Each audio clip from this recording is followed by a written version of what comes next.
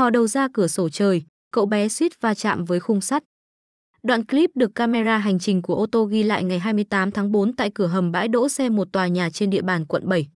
Theo clip, hai bé nhỏ thò đầu ra khỏi cửa sổ trời của ô tô đi hướng ngược lại. Một bé nam suýt va chạm với khung hạn chế chiều cao của hầm gửi xe. Đoạn clip sau khi đăng tải đã nhận được rất nhiều ý kiến bất bình từ cộng đồng mạng. Đa số ý kiến cho rằng phụ huynh thiếu ý thức tham gia giao thông trầm trọng, thậm chí có thể ảnh hưởng đến tính mạng hai đứa trẻ.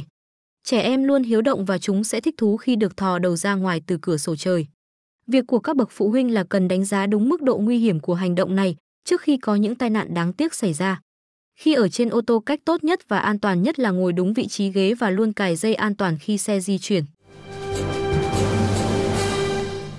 Thoát tim cảnh người phụ nữ đi xe máy ngã nhào vào gầm xe tải. Đoạn clip được trích từ camera hành trình của một ô tô trên đường Nguyễn Lương Bằng, quận Kiến An, thành phố Hải Phòng hôm 29 tháng 4. Clip 28 giây đang lan truyền nhanh chóng trên mạng xã hội với hình ảnh một người phụ nữ đã thoát chết nhờ may mắn. Theo đó, người phụ nữ đi xe máy cùng chiều với ô tô có camera hành trình, từ lề phải đường phóng nhanh để vượt lên trước.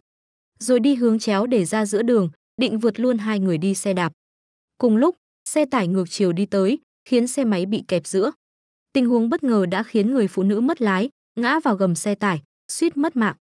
May mắn là xe tải đi chậm và bánh xe sau đã qua đoạn người phụ nữ ngã xuống. Sau khi clip được đăng tải nhiều người bàn tán rôm giả, phân tích sai lầm của người phụ nữ vì xòe hai chân thành hình chữ V khi lưu thông trên đường. Cửa kính bất ngờ vỡ tan khi người phụ nữ đang đứng ngáp. Tấm cửa kính bất ngờ vỡ tan khiến người phụ nữ đang đứng gần đó giật mình, không hiểu chuyện gì vừa xảy ra. Sự việc được camera an ninh trong nhà ghi lại vào 10 giờ 17 phút ngày 12 tháng 4 tại thành phố Long Nham, tỉnh Phúc Kiến, Trung Quốc. Trong clip, MOT người phụ nữ mặc đồ đen đang đứng vươn vai và ngáp thì cánh cửa kính trước mặt bất ngờ vỡ tan. Mặc dù bị giật mình trước tiếng nổ lớn nhưng người phụ nữ may mắn không bị thương. Được biết, trước đó không có vấn đề gì xảy ra với cánh cửa kính và điều kiện thời tiết cũng bình thường. Toàn bộ diễn biến sự việc đã được camera ghi lại. Lao nhanh ngoài giao lộ, ba xe máy tông nhau liên hoàn. Cùng đi vào giao lộ với tốc độ cao, hai xe máy mất kiểm soát tông nhau cực mạnh. Sau đó hai xe văng vào sát lề đường thì một xe máy khác chở hai người chạy tới tông chúng. Đoạn clip được camera giám sát gần đó ghi lại lúc trưa ngày 28 tháng 4 tại Hà Nội. Vụ tai nạn liên hoàn giữa ba xe máy làm bốn người bị thương nhẹ. Đoạn clip sau khi đăng tải thu hút hàng chục bình luận, trong đó phần lớn các ý kiến đánh giá hai tài xế di chuyển vào giao lộ thiếu an toàn, không giảm tốc độ khi tới đường giao nhau.